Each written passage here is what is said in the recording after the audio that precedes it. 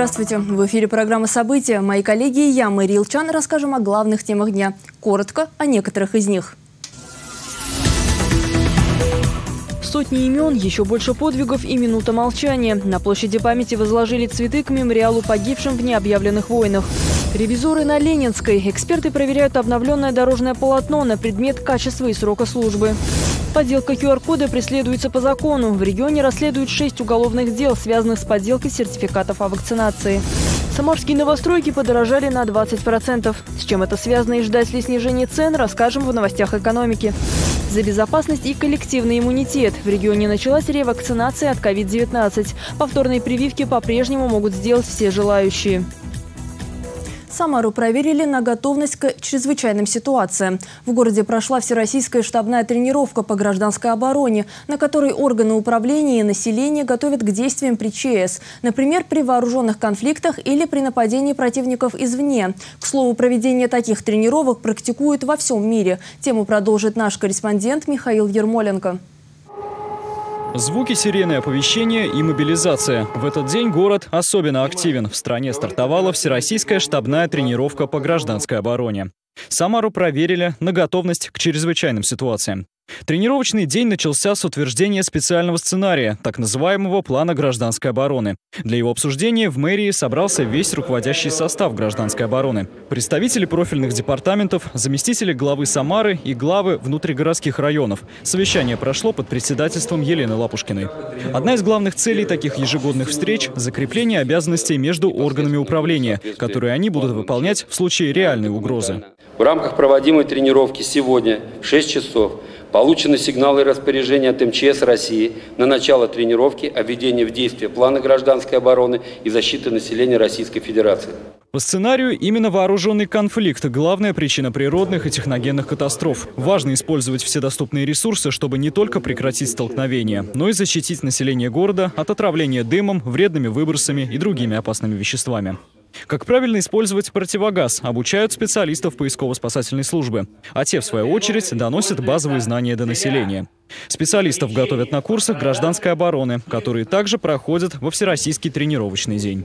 За лямки руками, подбородок специальную выемку и снизу вверх происходит одевание противогаза.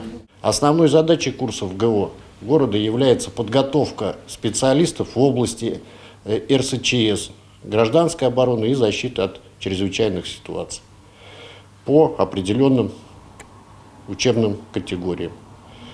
В настоящий момент курсы э, проводят, ведут свою учебную деятельность на основании учебной программы курсового обучения. Кроме того, в рамках отработки практических действий провели специальную обработку городской техники, развернули пункты выдачи средств индивидуальной защиты, питания и вещевого снабжения, а также проверили готовность городского спасательного пункта к работе в условиях реальной катастрофы. Михаил Ермоленко, Николай Сидоров. События. В Самаре на улице Ленинской сегодня прошла проверка обновленного в этом сезоне дорожного покрытия. В рамках трехгодового контракта она последняя. Дальше специалисты займутся нанесением разметки. Дорожники взяли 12 образцов на отрезке от улицы Чкалова до Красноармейской. Как работали эксперты и куда отправили образцы для проверки на предмет качества и срока службы, узнали наши корреспонденты. Перед тем, как приступить к заключительному этапу ремонта дорожного покрытия и нанесению разметки, сотрудники муниципального учреждения «Дорожное хозяйство» вместе с подрядчиком делают отбор проб верхнего слоя нового асфальтобетонного покрытия в квартале между улицами Красноармейской и Чкалова. Проверяют соответствие ГОСТу и СНИПу. Мы отбираем а, три керна на 7 тысяч, здесь порядка 25 тысяч, то есть будем отбирать где-то 12 точек то есть 6 э, точек с одной стороны, проезжей части 6 точек с другой стороны. Для того, чтобы определить физико-механические свойства смеси, образцы отправляют в лабораторию. Там керн расщепляют и оценивают структуру. Важны также параметры водонасыщения и уплотнения. Приемка объекта проводится исходя из результатов исследований. Подрядчик, в свою очередь, также проверяет асфальтобетонную смесь. Предварительно перед э, выпуском продукции мы согласовываем состав с заказчиком. Э, после этого при выпуске продукции у нас ведется внутренний контроль постоянный. Комплексное обновление включает в себя не только приведение в порядок проезжей части, но и замену дорожных и тротуарных бортовых камней, установку придорожных плит, ремонт газонов и пешеходных зон. Также на улице Ленинской предусмотрели ремонт парковочных пространств и строительство более полусотни дополнительных машиномест, почти на 700 квадратных метров. Автовладельцы уже успели оценить преображение Ленинской и считают, что проверки необходимы. Ну, вначале она вроде неплохо выглядит. Посмотрим, как она дальше себя покажет. А новый всегда хорошо, насколько она новая продержится. Контроль-то должен быть всегда. Результаты проведенного отбора проб асфальтобетонного покрытия будут готовы в течение двух-трех дней. Полностью ремонтные работы на участке должны завершить до конца октября. Ольга Павлова, Никита Колосов, Максим Гусев. События. В Самаре зоны отдыха начали готовить к плановым ремонтным работам после лета. Среди основных задач – высадка деревьев и многолетних цветущих растений в парках. Жители города убедительно просят не игнорировать запрещающие таблички, не заходить на огороженную территорию объектов ремонта, не выкапывать насаждения и внимательно следить за детьми. Все это необходимо для безопасности горожан. В настоящее время специалисты готовят парки и скверы к следующему сезону. За сутки в Самарской области зарегистрировали еще 638 случаев заболевания новой коронавирусной инфекцией. Число заболевших в регионе достигло 108 978. Такие данные в среду 6 октября опубликовали на сайте stopcoronavirus.rf. За последние сутки выздоровели 385 человек. Всего с начала пандемии из больниц выписали 87 774 человека. Не допустить сценарий весны 2020 года. В Самарской области ситуация с заболеваемостью коронавирусом остается напряженной. Это требует вынужденного введения новых ограничительных мер. Когда заболевает больше людей, каждый должен подумать о своей безопасности. Одна из профилактических мер – вакцинация. Спустя полгода прививают как тех, кто переболел, так и тех, кто был ранее привит. Слово нашему корреспонденту. Повторная вакцинация в период пандемии необходима, об этом говорят медики. Она проводится через 6 месяцев после первичной вакцинации. Так, например, в третьей городской поликлинике повторную прививку уже сделали порядка 220 человек. Листов ожидания у нас нету, вакцины всегда достаточно. Любой человек, проходя мимо, приехав из других регионов, могут прийти, привиться. Повторную прививку можно сделать любой из действующих вакцин, вне зависимости от того, каким препаратом прививались пациенты впервые. Я не очень верила в это все и заболела. Заболела серьезно, три месяца болела. Тут решила привиться все-таки. Особое внимание старшему поколению. Им прививаться нужно в первую очередь. Маски и социальная дистанция – это также та несложная профилактика, которая поможет оставаться здоровым. Всего в Самарской области вакцинировалось более 1 миллиона 152 тысяч жителей. Михаил Ермоленко, Мария Елчан. События. Далее вас ждет экономический блок новостей. Светлана Кудрявцева уже в студии. Здравствуйте, Светлана. Здравствуйте, Мэри и уважаемые телезрители. Цены на газ в Европе продолжают бить рекорды. Когда они все же пойдут вниз? Об этом через минуту, а сейчас о прогнозах экономического роста от Всемирного банка. Всемирный банк скорректировал прогнозы экономического роста для стран Европы и Центральной Азии, в том числе и для России. Теперь, по ожиданиям экономистов, рост российского ВВП в 2021 году составит 4,3%. Он будет расти и в следующие два года. Однако Всемирный банк смотрит пессимистично на перспективы российской экономики к 2023 году. Рост ВВП покажет всего 1,8%. В основу прогноза заложено постепенное ослабление ограничений ограничение ОПЕК плюс на добычу нефти и полноценное возвращение к бюджетному правилу. А вот стоимость голубого топлива продолжает удивлять. Фьючерсные цены на газ в Европе достигли очередного рекордного значения, превысив 1930 долларов за тысячу кубометров. Однако затем они резко упали до 1679 и снова пошли вверх. К скачку цен привели дефицит газа в хранилищах Европы и новости о трубопроводе «Северный поток-2». Первую нитку уже начали заполнять газом, а на второй продолжаются пусконаладочные работы. Ранее Франция, Испания, Греция, Чехия и Румыния выступили совместным заявлением, в котором попросили Евросоюз разработать инструменты для немедленного реагирования на существенный рост цен и призвали провести расследование в отношении газового рынка. К концу года Еврокомиссия представит предложение по реформе газового рынка. Снижение цен ожидают только к весне. Количество обанкротившихся россиян продолжает расти. За 9 месяцев этого года оно увеличилось почти в два раза по сравнению с аналогичным периодом прошлого.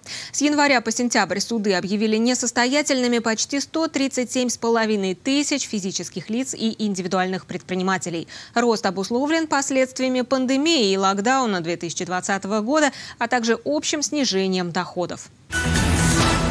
В России рухнул спрос на новостройки. Покупатели стали на четверть менее активны, чем год назад. При этом цены на жилье не спешат снижаться. За время пандемии квартиры на первичном рынке Самары подорожали на 20-25%. Как отмечают аналитики, это не только общероссийский, но и общемировой тренд. Недвижимость выросла в цене в 56 странах. В топ-10 входят Турция, где жилье выросло почти на треть, Новая Зеландия, Люксембург, Словакия, США, Швеция, Австрия, Нидерланды. А вот в Малайзии, Марокко, Индии и Испании жилье, наоборот, подешевело на 1-2%. Эксперты связывают это с жестким локдауном, экономическими проблемами или избыточным предложением на рынке. Ждать ли снижения цен в Самаре, расскажем в сюжете.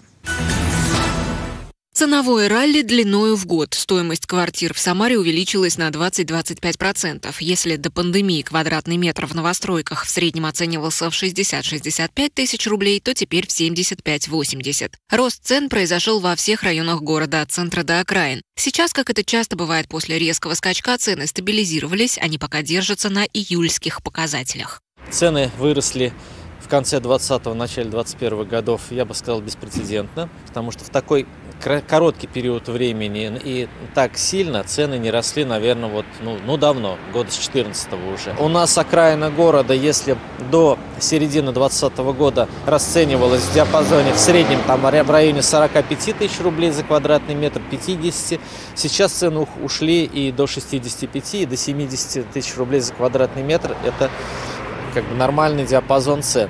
Центр города у нас а, был доступности до 100 тысяч рублей.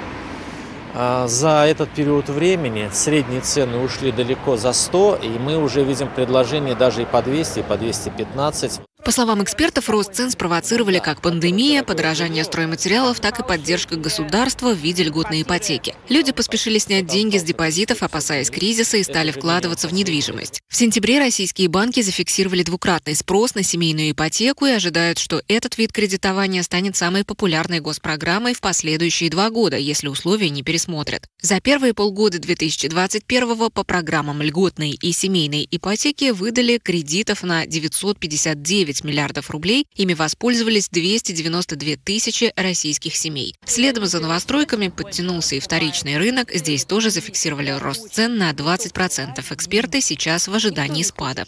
Три волны таких у нас были в восьмом году, в четырнадцатом году. И вот как бы сейчас цены поднялись до очень высокого уровня и по-хорошему должны немножко откатиться назад. Но мы об этом еще говорили летом, и думалось, что закроется льготная ипотека, и тогда цены ну, неизбежно упадут. Но льготную ипотеку правительство продлило, а людям нужно как-то сохранять деньги. Мне сейчас очень нравится выражение «припарковать деньги». Потому что недвижимость, э, вне зависимости от ее колебаний по стоимости, все равно это сохраненные деньги. Однако с повышением ключевой ставки и ставок по ипотеке потребительский интерес начал угасать. По итогам третьего квартала этого года спрос на квартиры в российских новостройках упал на 25% по сравнению с показателем за аналогичный период прошлого года. Это тоже должно подтолкнуть застройщиков к снижению цен на жилье. Официальный курс доллара на 7 сентября 72 рубля и 57 копеек. Он остался на прежнем уровне. Евро 83 рубля и 93 копейки. Европейская валюта потеряла 25 копеек. Нефть марки Brent 82 доллара и 13 центов за баррель. На этом пока все. Оставайтесь с нами и будьте в курсе.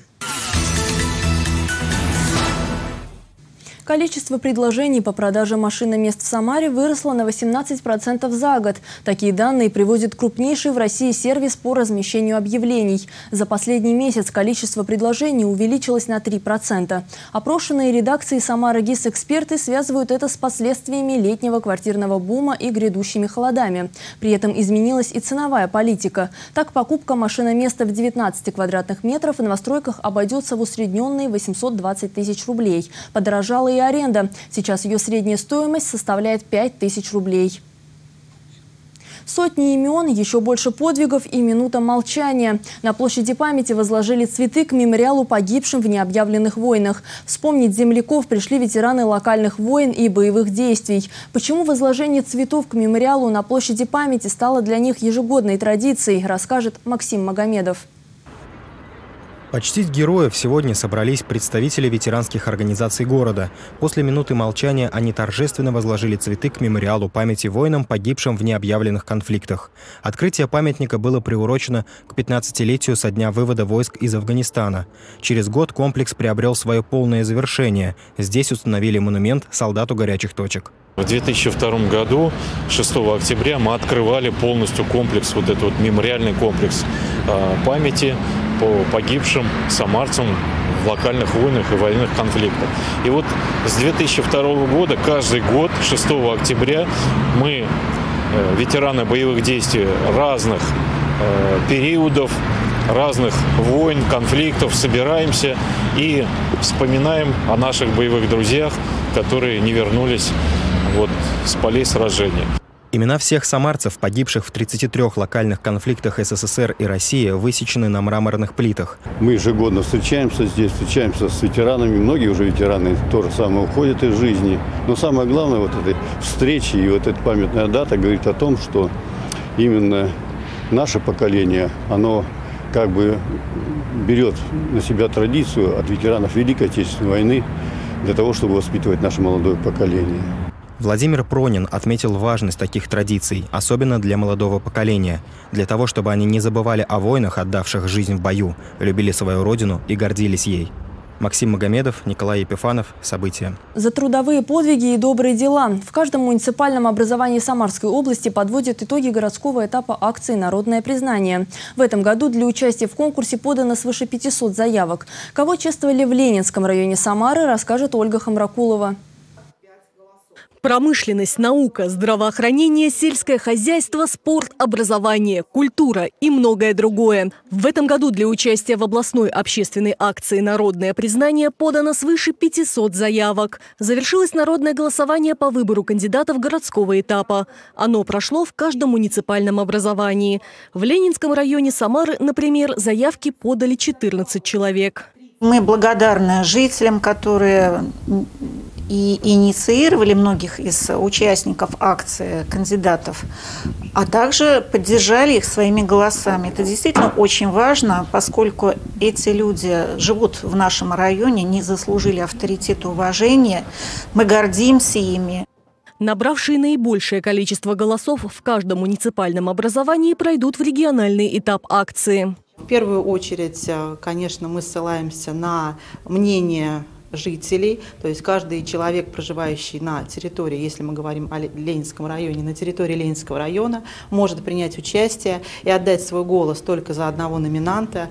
Выдвигали своих кандидатов инициативные группы со всей области. В этом году получить народное признание можно по шести номинациям. Память и слава, мы вместе, признание и уважение, наследники победителей, герои нашего времени, единство и успех. Заключительный этап продлится с 1 ноября по 10 декабря. Самых достойных определят по итогам областного народного голосования. Ольга Хамракулова, Константин Головин. События. И о других событиях этого дня расскажем в нашем видеообзоре. В Самарской области расследуют шесть уголовных дел, связанных с подделкой сертификатов о вакцинации от коронавируса. Об этом информирует региональная ГУ МВД. Чаще всего злоумышленники предлагают своим клиентам сгенерировать код. Также практикуется подделка бумажных документов. Жители Самары настоятельно просят не забывать о том, что их распространение и сбыт – уголовные преступления. При этом ответственность за это придется нести всем. Максимальное наказание за подделку и сбыт – до двух лет лишения свободы, а за покупку и хранение подобных документов – до одного года. Сразу 14 жителей региона попали на скамью под подсудимых. Их обвиняют в покушении на кражу в особо крупном размере и даче взятки должностному лицу. По версии следствия, преступная группировка была сформирована в марте 2019 года. Подельники намеревались заниматься хищением нефти из трубопровода, проходящего по территории региона. Однако довести дело до конца не успели. Их деятельность была пресечена сотрудниками ФСБ, МВД и Росгвардии. Кроме того, двое фигурантов пытались подкупить полицейского. Для этого они встретились с ним на парковке одного из торговых центров, где передали силовику, действовавшему в рамках оперативного эксперимента, 100 тысяч рублей из обещанных 30 миллионов. За эти деньги обвиняемые намеревались откупиться от дальнейшего уголовного преследования. В Самаре доходный дом на улице Венцика, 38 взяли под охрану. Соответствующий приказ опубликовало региональное управление государственной охраны объектов культурного наследия. Под охрану берется трехэтажное здание, планировочная структура, строительные конструкции здания, композиционное построение и декор фасадов, говорится в приказе. Ранее под охрану взяли дом Челышова на улице Красноармейской, 60. Самарцы напишут большой этнографический диктант. Об этом сообщили в региональном правительстве. Его проведут с 3 по 7 ноября в онлайн-формате в честь Дня народного единства. Диктант позволит не только оценить уровень этнографической грамотности населения, их знания о народах, проживающих в России, но и обратит внимание широкой общественности к вопросам межнационального мира и согласия, рассказали в правительстве Самарской области. Поучаствовать в диктанте могут все желающие жители России и зарубежных стран. Рабочие языки – русский, английский и испанский. Задание опубликуют 3 ноября в полночь по московскому времени. В аэропорту Курумыч сожгли 9 тонн фруктов и орехов. Как сообщают в управлении Россельхознадзора по Самарской и Саратовской областям, запрещенную к ввозу продукцию изъяли у пассажиров из Таджикистана, Азербайджана и Узбекистана. С начала 2021 года было выявлено 4293 партии под карантинной продукции, ввезенной на территорию региона с нарушениями. Специалисты управления Россельхознадзора изъяли из ручной клади пассажиров почти 9 тонн контрафакта. На утилизацию отправились свежие черешня, абрикосы, лимоны, ревень, сушеные абрикосы с косточкой, курага, фисташки, миндаль, арахис, изюм, грецкие орехи. Возможность узнать о жизни первых лиц Российской империи изнутри. В Центре семейного чтения Сергиевска состоялось торжественное открытие выставки «Война и мир» Анны Тютчевой, дочери известного поэта, фрейлины высочайшего двора и невестки Сергея Аксакова. Экспозицию открыли в честь 230-летия автора «Аленького цветочка». Наш корреспондент продолжит. Портреты первых лиц императорской свиты и неизвестные истории из их жизни. Вот основа выставки «Война и мир» Анны Тютчевой. Она 13 лет была фрейлиной высочайшего двора и написала мемуары, в которых создала интересный образ российских верхов в момент правления двух императоров. Мемуары рассказывают о том, как она жила при дворе, как она исполняла обязанности фрейлины, какие у нее были отношения со всеми членами императорского двора. Это и тяжелые годы, когда э, случилась русско-турецкая война, Крымская война, как мы ее, Севастопольское сражение, и о том, как переживали это во дворце, как она сама к этому относилась. Поэтому выставка называется «Война и мир». Межмузейный передвижной проект открыли в Сергиевске к 230-летию Сергея Аксакова, известного писателя, автора «Аленького цветочка». Анна Тютчева была его невесткой. Место выставки выбрано не случайно. Сергиевские воды являются знаковым аксаковским местом сюда, к вам на лечение, на ваши воды, на ваш воздух приезжала вся Аксаковская семья. Поэтому вы обязательно такое наше Аксаковское место. И мы очень хотим, чтобы оно вошло вот в это золотое кольцо Аксаковского Поволжья таким э, очень важным, значимым местом. Выставка в Сергиевске будет открыта до конца октября. Андрей Горгуленко. События. Всего несколько дней отделяют Самару от долгожданного и яркого события культурной жизни. С 7 по 10 октября историк моды Александр Васильев представит юбилейные поволжские сезоны. Темой 20-го фестиваля станет ответственная мода. По словам художественного руководителя фестиваля, сегодня моду формируют два основных направления – экологичное производство плюс осознанное потребление. Дизайнер и производитель должны понимать, не навредит ли изготовленная вещь планете на каждом этапе жизненного цикла. В 2020-м конкурсные показы отменили из-за сложной эпидемиологической ситуации. В этом году фестиваль с учетом всех мер предосторожности все-таки состоится. На этом этапе подано более 50 заявок от дизайнеров и театральных художников из 25 городов России, в том числе из Оренбурга, Ульяновска, Пятигорска, Сочи, Барнаула и Зеленогорска. Конкурсанты представили свои авторские коллекции в четырех номинациях. Костюм «Реальность», костюм «Художественная идея», перформанс и театральный костюм. Члены жюри во главе с Александром Васильевым выберут лучших. Самарцев предупредили об аномально снежной зиме. Изменения коснутся всех регионов России. Грядущей зимой в большинстве российских регионов ожидается существенное увеличение количества осадков. Высота сугробов по Волжье превысит норму на 50%. Такое заявление сделали специалисты Федерального центра гидрометеорологии. Эксперты утверждают, что грядущая зима будет снежной и холодной, так как полярные шапки в этом году приостановили таяние. Об отмене глобального потепления говорить пока рано. Однако сохранение значительного объема льда отразится на погоде на всем северном полушарии. На этом наш выпуск завершен. Всего вам самого доброго и до встречи.